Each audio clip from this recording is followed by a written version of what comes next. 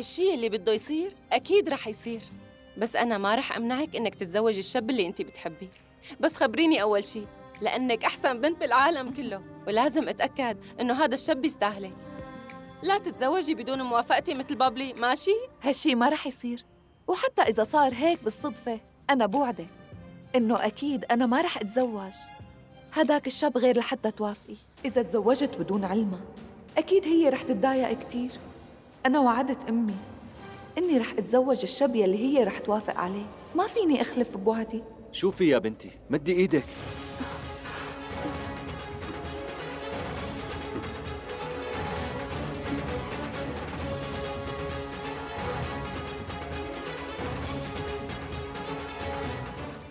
يلا لو سمحتي يا بنتي.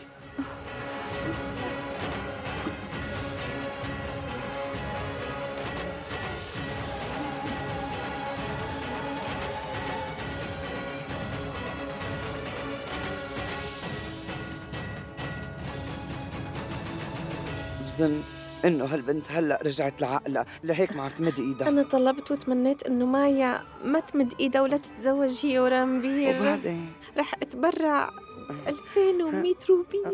لا.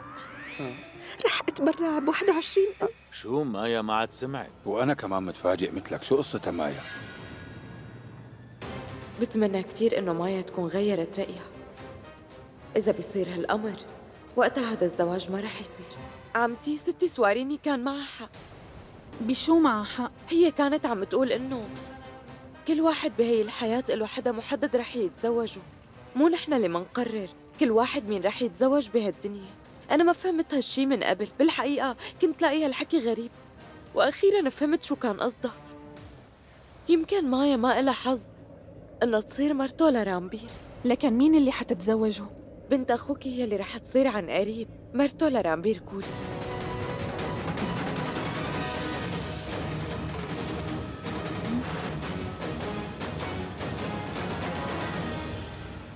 آسفة أمي. عم بخلف بالوعد يلي وعدتك إياه. كرمال إني أنقذ رامبير وعيلته.